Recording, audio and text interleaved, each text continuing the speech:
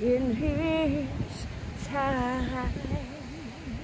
In His time, He makes all things beautiful. In His time, in His time, in His time, He makes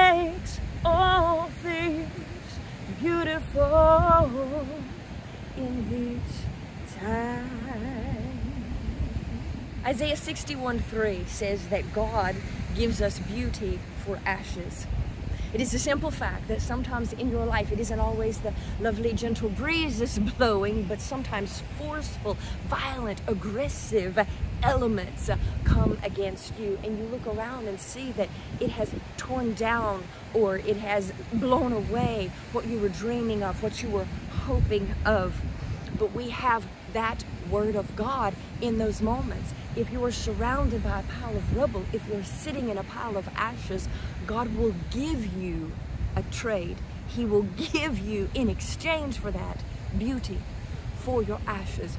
Turn those ashes over to Him for what He will do with them and watch Him make something beautiful. You rise up from the ashes. It's not the phoenix, baby. It's the child of God. There's another scripture I want to read to you this morning in Ecclesiastes that says, He makes everything. He has made everything beautiful in His time.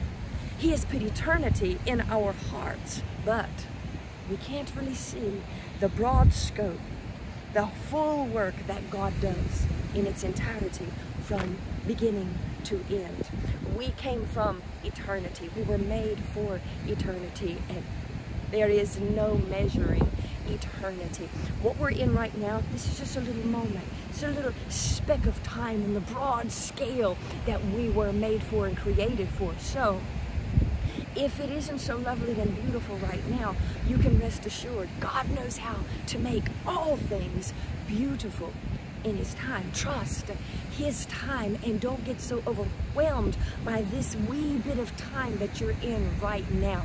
God's going to fix it. God's going to change it. Are you going to stand on His word and trust Him to do that? He'll move for you when you do. There's a song I used to sing when I was a kid. It says, He set my life to music. He gave me words to sing. He set my life to music.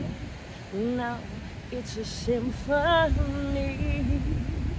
So from the valleys of my life, I let His praises ring.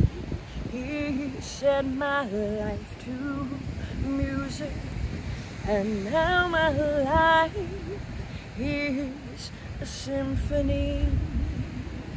When I hear the sound of waves breaking off the shore, or when I hear the wind rush through the leaves, I just have to stop and listen. There is so much to thank Him for, and I feel His harmony. He brings it to work in everything, and He sets my life to His music. He gives me words to sing. He sets my life to music. Now it's a symphony.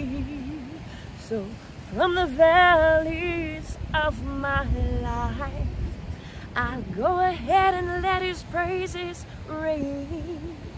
Cause I know he will set even this part of my life to music. And my whole life will be a symphony give him time.